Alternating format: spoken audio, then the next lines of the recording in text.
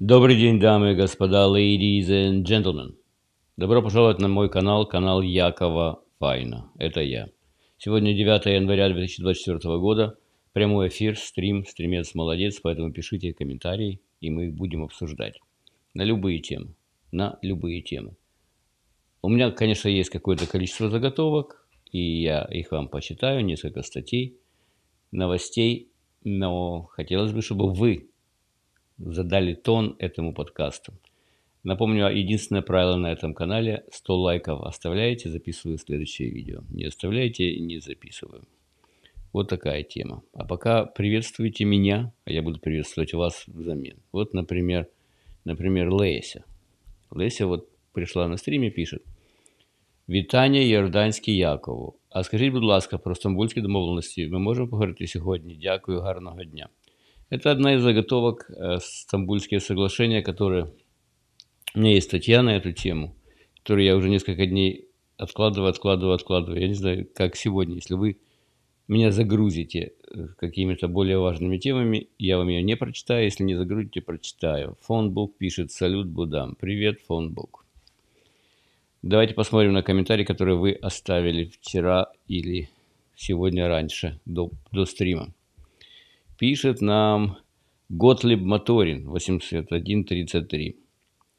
Интересно, неужели Готлибов Моторинов так много, что нужно было брать такой номер? Может быть, не знаю. Я не очень хорошо разбираюсь в Готлибах Моторинах. Он спрашивает, Яков, расскажите, пожалуйста, что вы думаете про пенсионный кризис в Чикаго? Чикаго у нас говорят, Чикаго. С точки зрения человека, который давно проживает в США и хорошо понимает эту страну, мне до сих пор непонятно, как подобные pension plans, пенсионные планы, запускаются региональными органами власти и почему никто не протестовал в свое время решение о принятии столь щедрых планов для муниципальных работников. Ну, я вам скажу вот что. Э, во-первых, не все знают, что такое пенсии, и что такое кризис, и что такое Чикаго. Поэтому давайте начнем издалека. Все глупости, которые происходят у нас в стране, не все, не все, но большинство глупостей, которые у нас происходят в стране, а, это связано с тем, что к власти приходят демократы, которые за красивыми лозунгами и за неправильной установкой вообще в принципе, что человек это существо классное, и за неправильной установкой, что человеку надо э, давать, надо заниматься дистрибуцией имеющихся вещей, и что правительство должно быть больше, будь то правительство штатов, будь то правительство одного штата, будь то правительство города, ну, как в данном случае муниципалитет Чикаго. Они считают, что они знают лучше, что рынок это не, не может определять необходимости и требования и другие вещи. Кроме того, они, собственно, не только они, но любые политики э, стараются делать какие-то популистские дела. Вот. Чикаго долгие годы руководила черная лесбиянка. То есть женщина, черная и лесбиянка. А, при демократах, и в частности при Байдене, меритократия была непопулярной остается непопулярной. То есть, если ты хорош в чем-то, то ты должен продвигаться по служебной лестнице или по какой другой лестнице. Это merit-based. Merit – это твои умения, достоинства, скиллы, знания. А последние годы у нас надо быть черной лесбиянкой, чтобы чего-то добиться. Ну или, скажем, хоть, хоть не обязательно черная лесбиянка, но хотя бы черная женщина, как это было с Клодин Гей, да, которая ушла в отставку. Ну, стала ректором при этом, не имея серьезных научных никаких достижений, опубликовав 11 статей, в которых было много плагиата. Но вернемся в Чикаго или вообще в муниципалитет. Они так хотели своих ублажить, то есть руководство города в лице черной лесбиянки и иже с нею другие лесбияны и геи, не только геи, но она руководила этим делом. Они хотели, чтобы у них все было ханки-дори, то есть дать больше людям. А мы же всегда помним, мы, которые не демократы, мы, которые не левые, мы помним, что есть бассейн всегда. И в бассейн из одной трубы вливается, из другой выливается. А они решили выливать из трубы больше, чем в нее вливается. То есть они решили, почему бы не разрешить людям уходить на пенсию раньше. В то время как вся страна впахивает до, скажем, 65, 6, 7 лет, а потом идет на пенсию.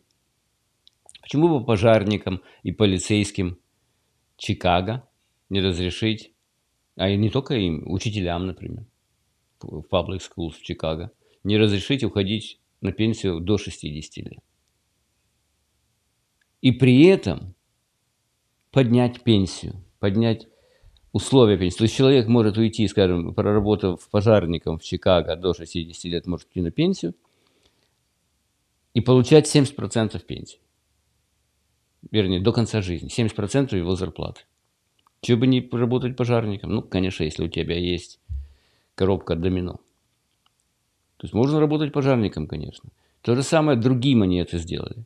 Дальше политики, которые баллотировались куда-то в местные муниципальные органы, они тоже хотели быть лучше, и они продвигали то, что мы дадим лучшие бенефиты для наших муниципалов. А, соответственно, те за них голосовали. Но все же основывается на продолжительности жизни. И если вы сегодня разрешаете пожарнику или там учителю уйти на пенсию, на пенсию, скажем, в 60 лет, по продолжительности жизни очень многие у нас сегодня в Америке живут до 90. До 90 лет, то есть 30 лет. В среднем у них там в Чикаго пенсия учителя 71 тысяча долларов. Учителя, пенсия. Это не, не путать с тем, что мы говорили social security, пособие. Это бенефиты вообще у муниципальных работников во многих местах намного круче, чем у людей, которые работают в частном секторе, типа нас с вами. 70 тысяч в месяц. Если у кого есть, может, калькулятор, то можно его взять и по поумножать чуть-чуть. Если человек начинает в 60 лет, начинает получать 70 тысяч в месяц, сколько он получит в год? Извините, я соврал. 70 тысяч в год. I'm sorry. Прошу прощения. Сорян, сорян, сорян. Звоняй ты дядьку. 70 тысяч в год. 70 тысяч в год. За 10 лет он получит, или она, 700 тысяч. То есть и, и этому человеку исполняется 70 лет, уже 700 тысяч ему надо отдать. Человек живет и живет. Ни цианистый калий не принимает, не прыгает с высотки какой-то. Еще 10 лет, еще 700 тысяч. Ему уже исполнилось 80, уже 1.4 миллион долларов уже обошелся нам этот пенсионер-учитель. Не нам, а Чикаго. А он и дальше живет до 90 лет живет. То есть уже за 2 миллиона переваливает сумма. То есть если человеку разрешить уйти на пенсию в 60 лет и платить ему из муниципальных средств 70 тысяч в год, это значит, что, средств должно хватить на то, чтобы ему заплатить 2 миллиона, учитывая такую продолжительность жизни.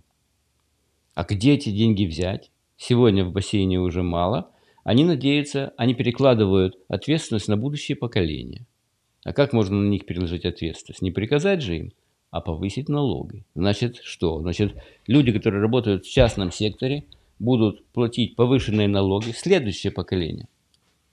Чтобы этой училке, которой 87 лет, которая уже высосала 2 миллиона долларов из бюджета, продолжать платить. То есть налоги в частном секторе должны помочь Чикаго Э, прикрыть свои зады и выполнить их обещания. Но это не получается, потому что одеяло короткое. Короткое одеяло. Тут прикрылся, там оголилось. И в этом у них есть и, и, и кризис, чикагский кризис. Почему такое разрешено? Ну, трудно сказать. У, у, у муниципальных работников и в муниципалитетах существует какая-то свобода, что они делают внутри своей организации. Если они умудрились выдать из федералов э, помощи на Чикаго столько-то денег, то вот они такое и стругнули. То есть их задача быть хорошенькими, а не использовать калькулятор и логику бассейна. Теперь там бассейн наполовину пуст, и сегодняшним вечером тост, который вы будете поднимать за пельменями или за чем-нибудь другим. Тост поднимайте за бедных, за молодежь Чикаго. Потому что им придется нелегко. Либо им надо будет свалить из Чикаго. Так что город опустеет через некоторое время. Вот люди уже подошли, и даже некоторые приличные люди стали здороваться. Станислав пишет «Здравствуйте», Антон Гутентаг. Вахмурка пишет «Здравствуйте, уважаемый». Это я? Больше никого нет. Значит, я уважаемый. Елюзив Джо, добрий день всем присутствующим. Джустар, доброго дня, пане Файна. Вітання, файна громада. Ольга пишет, витание Яков, Ю, Юр Витал пишет, здравствуйте, Яков, Антон, добрый день, Яков, я вам еще не надоел, им Якова. Это они пишут, это не я. Джустер пишет, Якове, а що вам не подобається в Європі? Чи могли б ви, наприклад, жити у Великій Британії або у Швейцарії? Я міг бы. Я вообще могу жить где угодно, в любой стране. У меня, я довольно такой человек непритязательный и как перекопать как перекати поле, могу прижиться где угодно. Могу снизить свои требования к уровню жизни, если это нужно. Но если это не нужно, хотелось бы, чтобы уровень жизни был бы покруче. В Европе, мне кажется, какая-то такая скука, висящая над всей Европой. То есть, конечно, Европе повезло очень, что очень много лет назад природа была создана такой, что ховайся такая природа, как в Европе, в западной. Не то, что у нас этого нет, у нас тоже есть. Но там еще помимо природы, там развивалась культура всего нашего чудного культурного человечества. Там строились красивые здания. Много лет люди знали, что надо вкусно кушать. Много лет гастрономия была шикарной. Много лет там рисовали известные художники. Столетий, столетий. И они это все умудрились сохранить. То есть, если новая Европа, может быть, особо ничего и не привносит, хотя привносят тоже наверняка в процветание Европы. В основном, в основном многие, конечно, юзают то, что было сделано в Европе раньше. И поэтому нам до сих пор пока еще иногда хочется. Кто такое и где у нас порой говорит, поехали в отпуск. Куда? В Европу. Почему? Там все круто, там чистые улицы, там относительно небольшая преступность, особенно если ты поселишься в правильном районе. Там вкусно кормят, там есть шикарные музеи, и там можно кататься на лыжах на Альпах. Ну, ладно, на лыжах можно и у нас кататься. Но там дешевле. И нам, американцам, там провести отпуск может быть очень часто дешевле, чем провести отпуск с таким же качеством или с таким же набором услуг, такого же левела, уровня в Америке. Там дешевле. Мы зарабатываем намного больше, чем европейцы. Поэтому смог бы ли я жить в Европе? Наверное, смог бы. Было бы мне скучно? Да, мне было бы очень скучно. Хотя я бы оттуда вел бы подкасты тоже. Ну, сколько можно ходить вообще в музее? Ну, один раз ты по удивлялся, ой, боже, какая, посмотрите на эту деревеньку, какая кукольная деревенька. Ну, я прошел ты по этой одной улице – имени Ленина в этой деревеньке во Франции. Да, ну сходил ты в этот ресторан, было вкусно. Но мог бы ли ты жить в этой деревеньке, если каждый день по улице Ленина гулять? Ну вот, посмотрите, какие красивые виноградники. Да, красивые, шикарные виноградники. Ну хорошо, ну один день красиво. Второй день, третий день. Мне кажется, в Америке, в Штатах более живая какая-то жизнь. Не то, что она лучше, но она живее. Штаты и сейчас живее всех живых. Поэтому, поэтому могу ли я жить в Европе? Мог бы. Хотел ли бы я жить в Европе? Сегодня нет. Что будет завтра, я не знаю. Может, я завтра утром встану и скажу, все, собираем вещи, жена, и валим. Вероятность маленькая. Но такое бывает. И еще что мне не нравится. У них идет перекос. У них в Европе идет перекос, э, как вам сказать, перекос ценообразования. У них для нас, для американцев, цены нормальные на все. А для них цены дорогие. Поэтому я, когда еду в Европу и питаюсь в таких-то ресторанах и живу в таких-то гостиницах, не смог бы себе этого позволить, если бы у меня был бы европейский доход. Поэтому я лучше как бы побуду здесь. Иногда буду ездить в Европу, хотя все меньше этого хочется. Но, короче, вы поняли мой ответ. Анна пишет «Хей, Яков». «Хей, Анна». Валерій пише: Привіт, Якове, Руслан, здравствуйте. Форест Гамп. Я б зараз хотів жити десь в Австралії. Австралия это, это глушь, это вообще задворки мира. Извините, дорогие австралийцы, если вы меня слушаете, но это так далеко. Это так далеко, что куда-то выбраться оттуда, не знаю. Ну, что, там, в принципе, можно ездить, наверное, в Азию. В Азию. Что, что, что не ближе, чем от нас в Европу, конечно, но, но вообще там сутки добираться. Денис пишет, Яков, доброе утро. Можете в двух словах описать путь перехода из QA в Developer и далее в Backend? И как оформить опыт в резюме, ведь никто не ищет джуниор после курсов. С резюме надо врать. Но врать надо, если вы, э, если вы хорошо очень знаете материальную часть. Врать не зная, это крышка, это гибель, испортите свое имя. Что касается перехода из QA в Developer, надо сначала перейти в QA – добиться всех высот в автоматизации QA, когда будете заниматься автоматизацией QA, QA вы будете писать программы уже, вы будете писать скрипты, как автоматизировать тестирование. Когда вы начнете писать скрипты, вот тогда вы начнете думать, а может быть и язык программирования подучить. В тот момент вы будете где-то работать в какой-то компании, изучайте то, че, те языки, которыми пользуются в этой компании, чтобы использовать ваше местоположение и нахождение уже внутри для того, чтобы пересесть как-то на программиста. Ну и главное, конечно, вы должны прийти к начальнику. При все, если уже все прочее уже, уже сделано. Вы уже хороший, сильный qa который знает серьезную автоматизацию и хорошо пишет скрипты, и вас уважают. Тогда надо подойти к начальнику и сказать, Василий Петрович, мне очень нравится работать в нашей компании. Смотрите, я работаю честно, аккуратно, я поднял свой уровень на QA и так далее. Мне нравится писать скрипты, и я думаю, что я смог бы программировать тоже качественно. Я уже прослушал курс у Якова Файна, видео, программирование на Java, и я уже нач... знаю основы. Дайте мне шанс.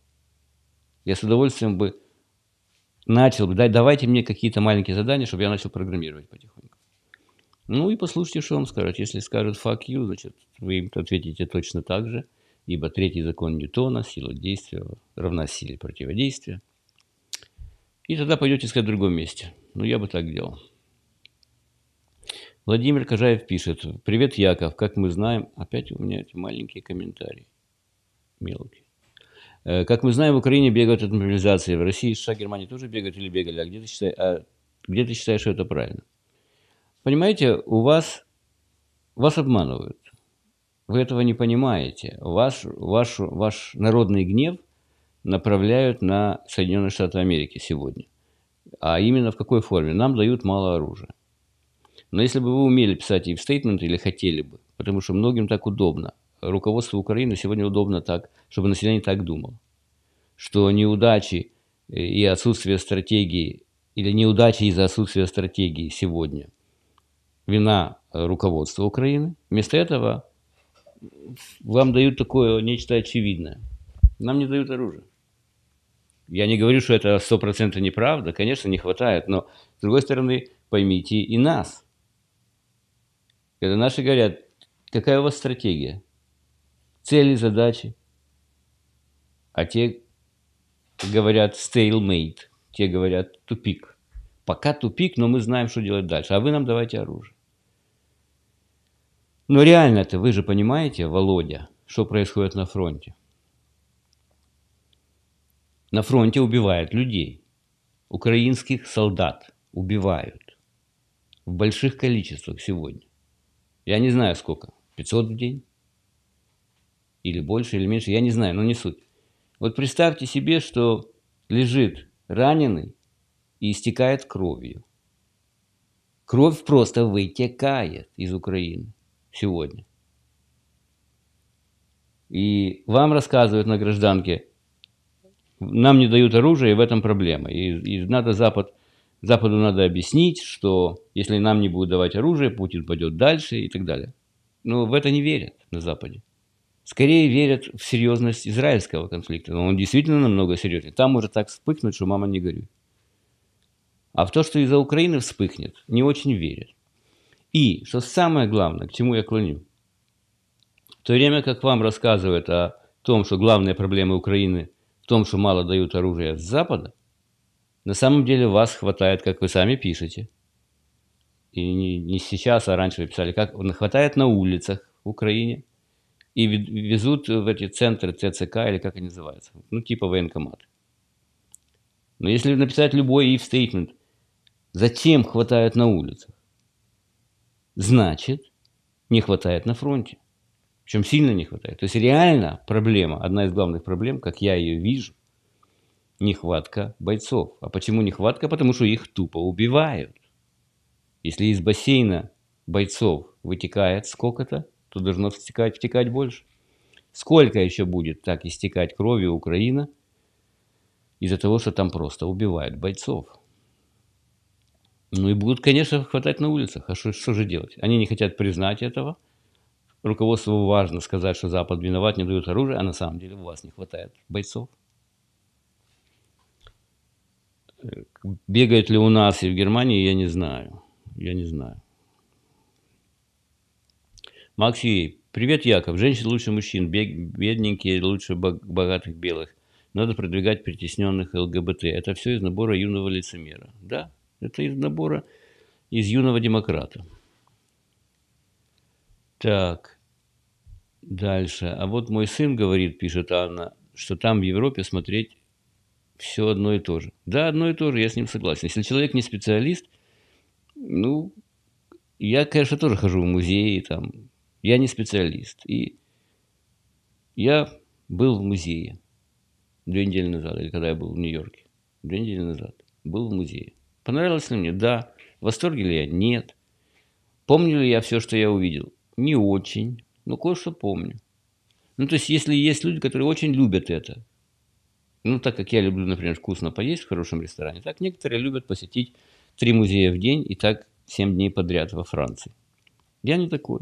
То есть у каждого свое. Так что ваш сын говорит так, значит, он, он прав, ему это нравится, он это и говорит. Максей пишет, Яков, вы не понимаете, до Австралии даже ядерной ракете лень лететь. Кроме того, рядом шикарная Новая Зеландия с ее уникальной природой. Правильно, я знаю, козочки, баранчики, лэмс, лэмс. У нас привозят лэм чапс, вот эти вот ребрышки барани из Новой Зеландии. Говорят, бараны не едят химикаты вредные. Поэтому есть мясо баранов лучше намного, чем есть мясо коров, которые, как известно, глупы. Им можно подсунуть всякую гадость. А вот новозеландская баранина, баранина – это наше все. Но сколько можно есть баранину или смотреть на красивых э, овечек, которые гуляют там по природе? Hello, Дэн. Антон пишет, Европа по сути бедная. В Италии третья экономика ЕС, медианная зарплата в 2022 году была 27 тысяч евро в год до налогов. То есть, если не досталась квартира от бабушки, работать придется за жилье и еду. Согласен, Антон. Европа бедная. Бедная. Даже богатые страны, они бедные по сравнению со Штатами. Так, э, так, так, дальше. Дэн пишет, «А, Антон, кажется, это не мне, извините. Дальше. Война на истощение, пишет Станислав, скоро Украина хватать будут. Вот это демократия. Нет, не будут. Я, кстати, очередной раз говорю, женщин трогать не буду. Потому что это конец Украине, если женщин начнут трогать. Я имею в виду в хорошем смысле трогать. Не в хорошем, в мобилизационном смысле. Так, Web Developer пишет, причем они рассказывают, что косят россиян как косой, но в России нет новой мобилизации. Конечно, Web Developer, в это верить нельзя. Ну, то есть, то, что косят в России, я верю. То, что косят русских солдат, я верю, конечно, косят. А те, что просто то вот так становятся в ряд, и украинцы так, ту -ту -ту -ту -ту -ту. следующий.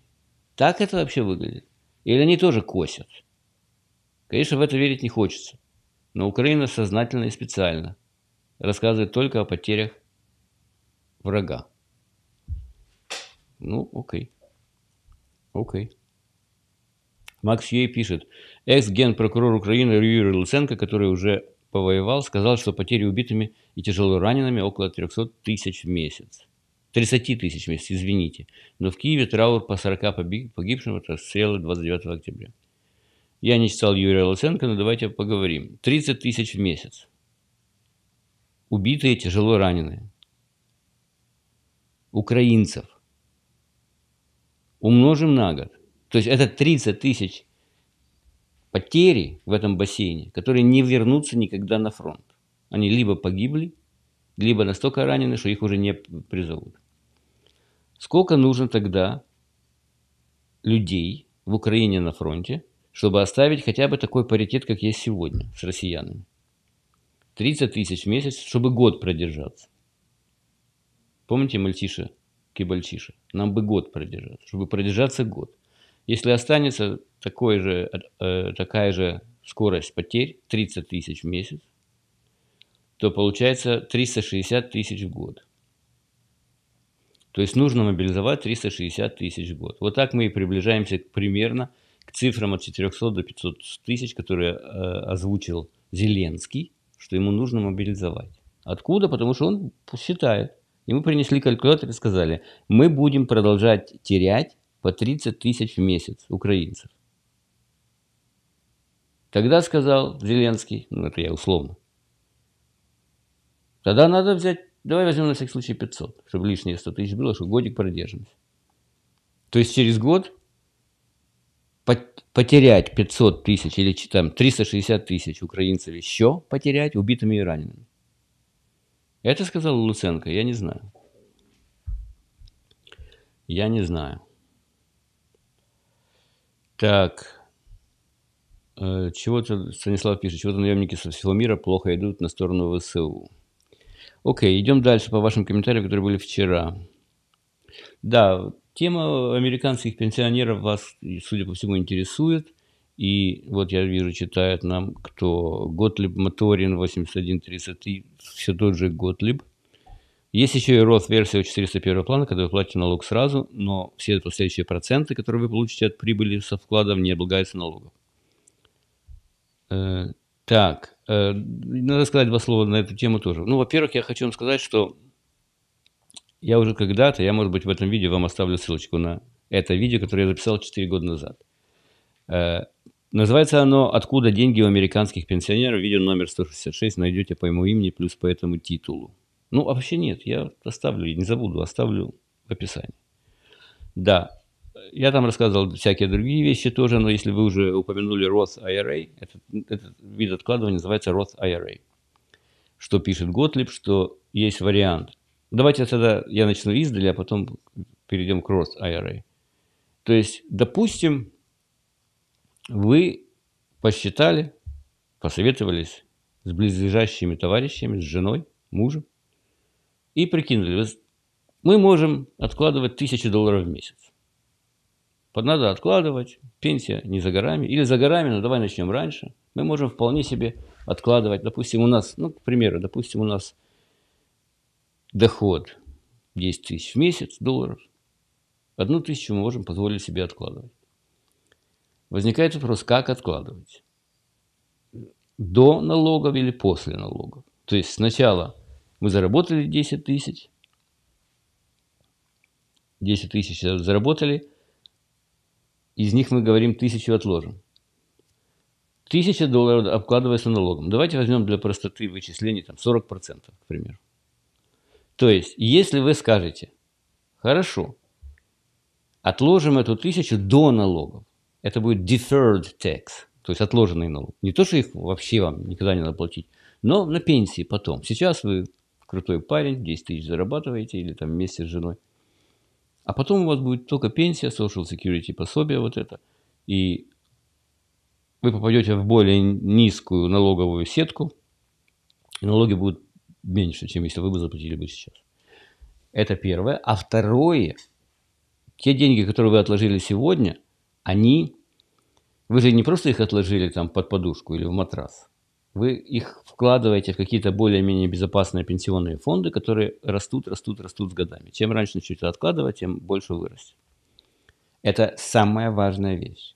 С годами, чем раньше вы откладываете, тем, тем больше вы соберете. Это первое. А вторая вещь, чем больше вы отложите, тем быстрее они вырастут. Это второе. Но давайте возьмем вот эту же самую тысячу долларов, о которой мы говорим. этой же самой семьи. Если вы берете 1000 долларов и откладываете ее до налогов, то есть это вы берете всю 1000 долларов и вкладываете в какой-то пенсионный фонд, который, допустим, вам платит 5%. То есть получается, что у вас изначальная ставка, вернее, изначальная сумма, с которой вы начинаете рост денег, или с которых начинается рост денег, 1000 долларов. Она будет расти, если по 5%, э, скажем, за правило, какое там правило, за, за 12 лет она удвоится, если она по 6% за 12 лет удвоится, или за 13. Ну, короче говоря, она тысяча начнет расти довольно быстро. Вариант number two. Вариант number two.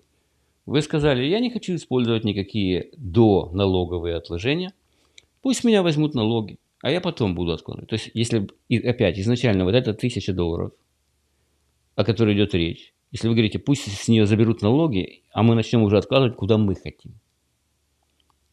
Не в эти 401 планы, не в эти пенсионные планы, куда хотим, туда отложим. Тогда что получается? Из этой тысячи вы получите 600. То есть изначальная сумма, с которой начнется рост, не 1000, а 600. То есть эти 600 долларов будут расти намного медленнее при прочих равных. Допустим, вы найдете тоже где-то не пенсионный фонд, не связанный никак с налогами, а начнете просто откладывать там в акции, к примеру. В акции вы начнете откладывать. Первая, первая сумма за первый год 600 долларов вы отложили в акции. Акции, допустим, растут, допустим, вы угадали, и все нормально, 5% вы получаете. То есть теперь что получается? Теперь получается, эти 600 долларов, которые вы вложили, они начнут расти, будут расти значительно медленнее, чем 1000 в первом варианте. Первое. Второе, если они будут расти, эти деньги, все то, что они заработают, называется capital gain. На capital gain вы тоже заплатите 15-20% от того, что они заработают. То есть мало того, что они медленнее зарабатывают, они еще и обкладываются опять налогом то, что они заработают. Такой вариант, понимаете? То есть, если у вас есть возможность отложить до налогов, явно вы можете быстрее прийти к какой-то важной сумме. И последнее, вот этот Ross IRA, о котором сказал господин Готлиб. И правильно сказал, что есть еще такой вариант, вообще в Америке очень много финансовых продуктов, и есть такой вариант, который говорит, что э, если вы хотите откладывать деньги в Roth IRA, это означает что? Что их уже обложили налогом, но если они начнут зарабатывать деньги, вот этот заработок не будет откладываться э, налогом. Вот то, что я сейчас вам перед этим сказал. 600 долларов, то есть, вернее, сняли налог, осталось у вас 600 долларов, и вы просто вложили там в акции, в стоки, в сток-маркет, просто, то capital gain, то есть заработанные на них деньги, будут облагаться налогом, скажем, 20%. А если вы так, точно так же заплатили с этой 1000 долларов налоги, осталось у вас 600, но эти 600 вы не просто начнете вкладывать в акции – а найдете вот такой фонд, который называется Roth IRA, R-O-T-H, Roth IRA. Если вы в него положите, и этот фонд вкладывает деньги, тогда то, что он заработает, этот capital gain, не будет обкладываться налогом. То есть, если вы уже решили, пусть уже снимут сначала налоги, а потом я буду вкладывать, просто подумайте, может иметь смысл какую-то часть ваших отложений вложить в этот Roth IRA. Окей, Вахмурка пишет, что яйца подорожали на 10-15%. А у нас чуть-чуть дешевеют. Так, дальше, что еще интересного? Денис пишет, госдолг США 32 триллиона, растет как на дрожжах. У вас старые данные, Денис, уже 34,1 триллиона. И еще одна цифра, если вы уже любите цифры, это 123%. То есть на 23% больше долг, чем Э, ВВП у нас. Такая тема. Такая тема. Окей, идем дальше. Э, вот я рассказывал о пельменях. Человек э, Юрій Грига пишет. Тримаюсь подалі від спільнот пельменних традицій. Мені ближе, ближче культура кошерної кухні. На що ему Макс отвечает, хіба пельмени не бувають кошерні. Значит, смотрите, что это за фраза вообще. Человек пишет, Юрий, он старается держаться подальше от, от общин, которые, у которых э, пельменные традиции. Наверняка это идет камешек в огород россиян. Типа, как он старается не есть русскую еду, а пельмени – это русская традиция, значит, он не ест, из-за того, что россияне такое творят, он не ест пельмени. Ну, это, конечно, как унтер-офицерская вдова, которая сама себя высекла. Я вам хочу сказать для справки. Вот, э, вот эта группа людей, которые были у нас на этой вечеринке пельменной, э, все из Украины и все проукраинские. Все проукраинские. Ни одного человека не было, который был бы пророссийский. Но мы все ели пельмени. Нас это никак не парило. Нельзя так делать, пацаны. Вам промывают мозги, вам говорят, не ешьте пельмени. Вам говорят, не, слуш... не, не читайте Пушкина. Снесите памятник Пушкину, вам говорят. Язык русский – это враг, вам говорят. И вы ведетесь на это. А вот еще начните бороться с пельменями. У вас продаются пельмени вообще в магазинах, в супермаркетах? Почему вы не пойдете туда, Юрий, и не начнете там шум поднимать? Что вы, сволочи, делаете? Родина в опасности, а вы продаете пельмени. Почему бы не так? Но Макс вам правильно ответил, в частности. Пельмени тоже могут быть кошерными. А вы пишете, вы любите кошер. Почему нет? Э, это называется кашрут. То есть есть определенный процесс, когда правильные раввины смотрят ваше производство пельменей, что там чисто, а там аккуратно, там молоко с мясом не смешивают и так далее. То есть у них есть определенные правила. Если э, процесс соблюдается, то ставится специальный значок, значок например, глад кошер или что-нибудь такого типа – и пельмени ваши могут быть кошерными. Как вы тут будете реагировать, Юрий, я не знаю. Я не знаю. Анна пишет, еще Яков хотел спросить про американские машины. Они вообще популярны в Америке? А то все Mercedes, BMW и так далее. Эм, популярно, конечно, популярно. Американские машины популярны. Но есть разные сегменты. Есть разные сегменты автомобилей. Есть, есть э, сегменты такие массовые, какие автомобили покупают массы американцев, в своей массе. Масса американцев не имеет какого-то супер-дупер дохода. И сейчас я вам покажу. Я вам сейчас покажу. Ну вот, например, лидирующие бренды автомобилей в Штатах, основанные на продажах. Number one, номер uno, Ford. Ford – это американская компания. Продали 1.7, 1,7 миллионов машин. Toyota на втором месте. Популярная машина японская. Chevrolet, Chevy, американская машина на третьем месте. Полтора миллиона продано было. Дальше пошла Honda. Honda, Hyundai. Дальше пошел опять Jeep, американская машина. Nissan японская, Kia какая-то корейская, наверное, не знаю. Subaru, э, Subaru, чья Subaru? Японская, наверное. Ram это, я думаю, американская, Tesla американская, GMC, General Motors американская, вот такие дела. Но если мы посмотрим на вот эти данные, top luxury car brands, то есть те, которые уже люди покупают, которые хорошо учились. Тут уже пошли, пошли больше, конечно же, где же оно есть, сейчас найдем. Больше пошли уже импортные машины. Best luxury car brands for 2023. Audi, Aston Martin. На Aston Martin катался Джеймс Бонд, насколько я помню. Последний раз я с ним ездил. Bentley, BMW, Cadillac. Cadillac, видите, американская. Genesis – это корейская. Jaguar – это английская. Land Rover – это английская. Lexus – это японская. Lincoln – это американская. Mercedes-Benz – это немецкая. Porsche – это... Кто Porsche у нас? Англичане, по-моему. Но хочу сказать определенные вещи. Вот здесь, смотрите, Cadillac и Линкольна. Только попали эти. Первые, сколько, десятка, наверное хочу сказать вот что. Многие из этих машин, они завода по их выпуску здесь. Вот, например, Mercedes, на котором я езжу, где же он выпускался? То есть, конечно, там движок приехал из Германии, трансмиссия из Германии, но сама сборка была, где она была? Не то Луизиана, не то Кентаки. Хотя это Mercedes, вроде бы как немецкая машина. Также и с другими брендами то же самое. То есть бренд импортный, но он мог собираться у нас здесь. В этом списке вы видели Кадиллак. Кадиллак – это моя мечта детства. Ну, не детства, а отрочества. Когда я приехал в Америку, я увидел эти кадиллаки, эти мягкие. Вообще машины были такие, как корабли. Вот так сидишь и плывешь. Такая подвесочка мягенькая, огромная. Я помню, я туда пробовал разные машины. Но Кадиллак был, была красавица. Кадиллак внутри было так отделано, эти велюровые сиденья. Я все время к жене приставал и говорил, давай купим Кадиллак, давай купим Кадиллак. А она мне говорила, ты что, на Кадиллаках ездят э, старики. Так что-то мы будем ездить на Кадиллаках. И мы так и не купили. Хотя у меня есть приятель, у которого... Он, он так получилось, что он работает в одной организации, которая им дает машины.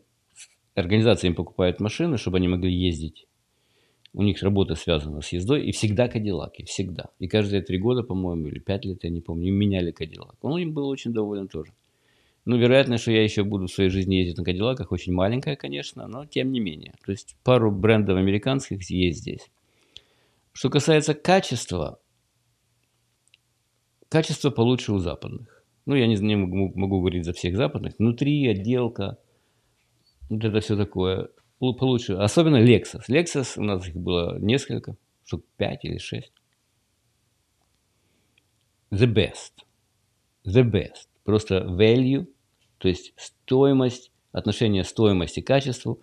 Я даже не знаю, ну, я как бы небольшой спец автомобилей, но лучше, чем Lexus, я не знаю ничего. Хотя у меня были и другие машины, вот и Mercedes тоже. Mercedes по качеству я по качеству, то есть качество сборки все хорошо. Но у Lexus ничего не происходит.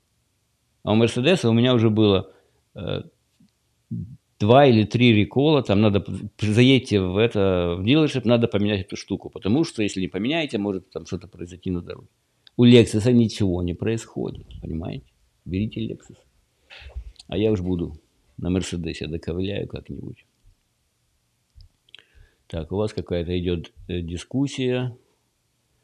Да, кстати, об отделке, об отделке. Вот мы в свое время ездили на рыбалку в этот, в, как он называется, мы ездили на рыбалку в Лейк Онтарио, там, на лососе.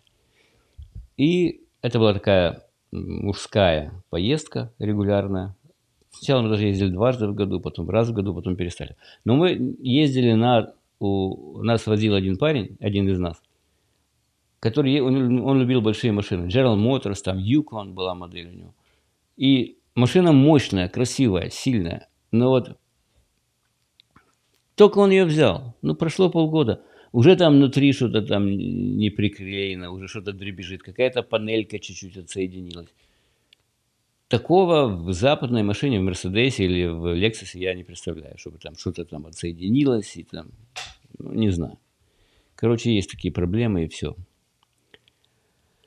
Так, ладно, давайте-ка я, давайте-ка я вам пару слов скажу про какие-то новости местные. Одна из важных новостей, как по мне, ну, то есть самая главная проблема, которую в Америке я сегодня вижу, это южная граница и то, что, скажем, в декабре 300 тысяч прошло нелегалов через южную границу в Америку.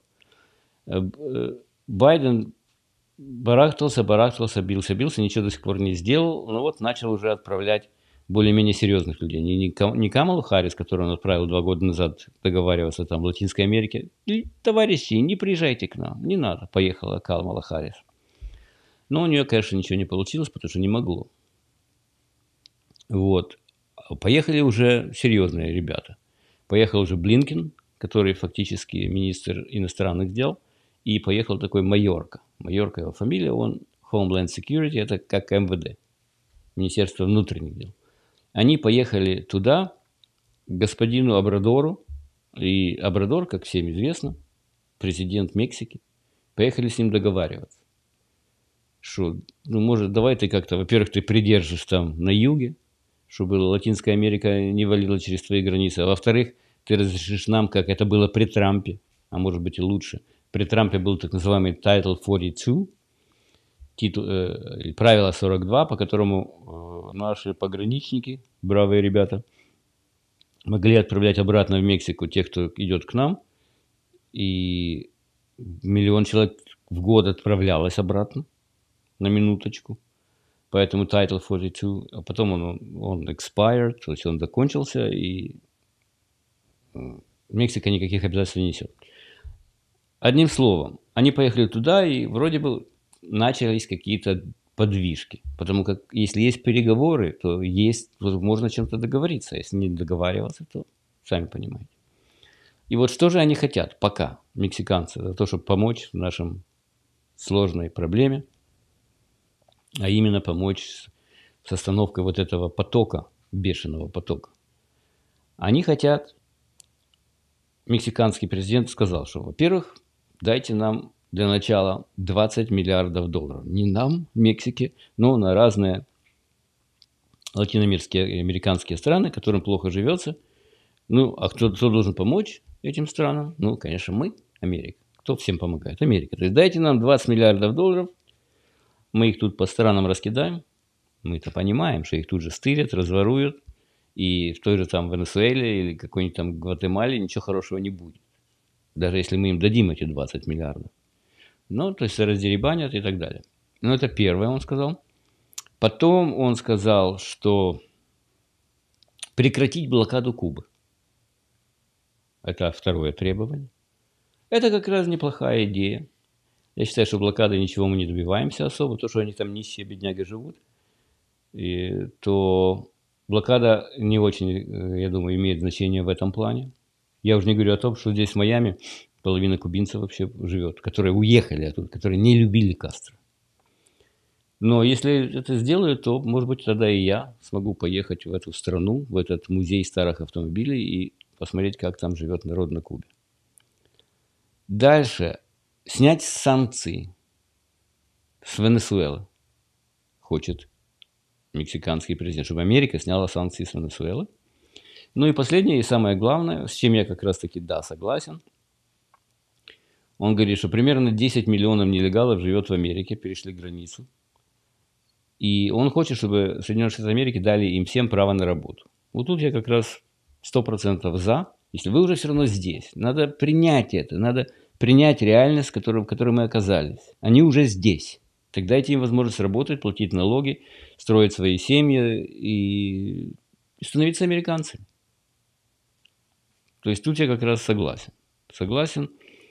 Э, а для Байдена это очень важно. Байден вообще не, не, не мычит, не телится, как говорится, по поводу своей предвыборной кампании. Демократическая партия уже тоже тихо плачет в сторонке, где-то там в курилке. Ему надо показать, что да, это самая серьезная проблема Америки. Не война в Украине, а вот это, южная граница. Вторая по серьезности вещь для Америки сегодня это война в Израиле удержать там конфликт, это number two. Вот. И, конечно, Байдену это важно что-то сделать. Сделает он или нет, я не знаю. Теперь новости Нью-Йоркщины, город Нью-Йорк. Э, про палестинские э, эти восстания, вообще они обнаглели. Они уже, когда это было, вчера или позавчера, позавчера, воскресенье, наверное, они просто перегородили все дороги. Основные дороги, которые идут в Манхэттен. Не все, но основные. Туннели, там, мосты и так далее. Давайте я вам покажу эту статейку. Вот они садились, и они сидели. Это перед Бруклин-Бридж. Вот там сзади видны вот это. Вот это Бруклин-Бридж. Они сели вот так. Они сидели, они перекрывали, они останавливали движение. А, это, кстати, Сьюзан Шарандон, ненормальная, которая тоже за них, 77 лет ей. Она пропалестинская, точно так же, как э, Александра Аказия Кортес – вот. А некоторые из них, посмотрите, они засыпали себя бетоном, чтобы их не разнять. Некоторые приковывали себя цепями, как пел Наутилус, Помпилус, скованные одной цепью. В общем, они, они себя вели нехорошо. Произошло 334 ареста в полицию. Смотрите, что они делают. Больные люди, просто больные. Я не могу себе представить произраильскую демонстрацию, где люди себя бы заливали цементом. Я не знаю.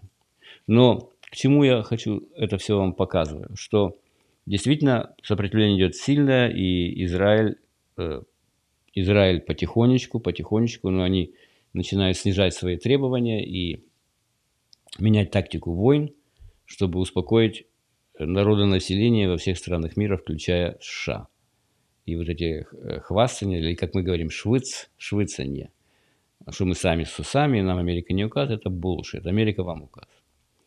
Следующая маленькая новостишка. Я вам не один раз говорил уже о том, что о том, что только, только ненормальный или человек с, с очень сложными, с тяжелыми какими-то семейными обстоятельствами, например, умирает родители, поедет сегодня из Америки в Россию. Я говорил о людях, у которых два паспорта, российский и американский. Россия – это проклятое место. Туда нельзя ехать американцам. Нельзя в принципе, потому что загребут. И вот очередного загребли. Россия задержала американского гражданина, они ему предъявили э, обвинение в наркотиках, и ему теперь светит до 20 лет в тюрьме. Вот этот несчастный, этот несчастный, его зовут э, Роберт Романов Вудланд, у него два паспорта, российский и американский, ну, видно, он потомок каких-то эмигрантов. Вот, он приехал, он давно уже живет в России, живет в России, где-то там в районе, э, да, его, его взяли, э, он родился в России, потом в 93 году его э, по программе усыновления забрали американские граждане из какого-то детдома в Перми, в Перми, и он жил в Штатах. А потом этот наивный мальчик решил помочь России, вернулся туда и преподавал английский язык где-то там в школе. Теперь его взяли за, э, за наркотики. Были наркотики или не было, я не знаю. Я склонен предполагать, что скорее нет, чем да. Но исход понятен. Он, он будет очередной жертвой режима. России нужно накапливать фонд для обмена, чтобы своих бандюх обратно забирать. И таким образом они, они пытаются это сделать, это удовлетворить. Ну вот, я думаю, что на сегодня хватит. У меня осталось 8 минут. Я не хочу начинать никакую большую новую тему. Я посмотрю просто на ваши комментарии. И если что-то есть интересное, отвечу. Web Developer пишет, просто самые отчаянные вояки оказались русскоговорящие украинцы, и уже как-то неудобно говорить им, что они какие-то не такие. Вообще это ужас. То, что, то, что внушают украинцам про русский язык, это ужасно. Так. Станислав пишет, 14 лет на Кадиллаках отъездил. Ну вот, я завидую по-доброму. Отличная машина, но гниют после 6 лет. Но гниют отлично. Если они гниют отлично, тогда можно брать. Почему они гниют? Я не знаю, интересно, что там металл какой-то левый? Или стырили металл, а чего-то другого добавили? Алекс согласился со мной. Хорошо, Lexus так Lexus. Вот видите, я помог Алексу принять решение. Алекс пишет, Яков, подскажите, почему американцы не очень любят иммигрантов с Латинской Америки? Нормальные же ребята. Кто вам такое сказал? Я вам хоть раз говорил, а я самый главный американец, которого вы знаете. Я никогда вам не говорил, что я не люблю латиноамериканцев. Никогда. Never. Never. Нормальные люди. Работают хорошо, впахивают. Откуда они такие сильные, я не знаю. Я смотрю, как они э, работают на вот этот landscaping – траву стригут, траву сеют, э, в жару, в холод, там снега не убирают. Ну, молодцы, просто, я не знаю, он такого небольшого роста, крепкий такой, жилистый, как, он, как они работают? Нормальные люди, нормальные, я ни слова не говорю плохого против них. Elusive Joe пишет, а сейчас американцы не могут на Кубу ездить? Могут, но при определенных условиях. Например, если бы я сам был с Кубы, у меня там родственники – или если бы я был в каком-то, работал в университете и занимался изучением кубинской культуры, и в рамках этого изучения я должен был бы поехать нанести визит. Ну, то есть определенные должны быть требования. Некоторые умудряются как-то через Канаду лететь, они летят в Канаду, из Канады они летят на Кубу, и как-то им вроде не ставят штамп, что они были на Кубе, а потом они обратно в Канаду и в Америку. Не знаю. Так, Э, Валерий пишет, Яков, почему ты считаешь, что Израиль может полыхнуть так, что будет плохо штатам? Сколько оружия арабских стран у Украины? И конфликт на Ближнем Востоке может полыхнуть намного быстрее и намного сильнее. Там он тлеет всегда, там огромное количество врагов и у Израиля, и между собой. И если там начнется, между даже арабскими странами тоже, то мало не покажется. Кроме того, они просто тупо, они бомбят наши военные базы. И мы молчим, и молчим, и молчим. Так, веб-девелопер, надо Петровича с кувалдой позвать и освободить хлопцев и девчат. Денис пишет, у нас антипутинский демонстрат свою мошонку к брусчатке на Красной площади гвоздем прибил в свое время, так что цементом заливать это слабовато. Да, россияне впереди планеты всех, это точно. Денис пишет, куча американцев едет в Россию и получает гражданство. Куча идиотов. Все сядут. Сядут усе, как говорилось в этой Америке. А дальше подкинули наркотики классика. Да, это тот, кто приехал в Париж, банк там подпалил. Просто дурак оказался. Четко про Россию, но не точно. Энди пишет, Яков, Wall Street Journal, The Guardian или какое-либо другое любимое американское СМИ. Мне больше всего нравится Wall Street Journal. Я его читаю регулярно, каждый день. Э, и мне кажется, они наиболее объективны, насколько может быть вообще газета объективной.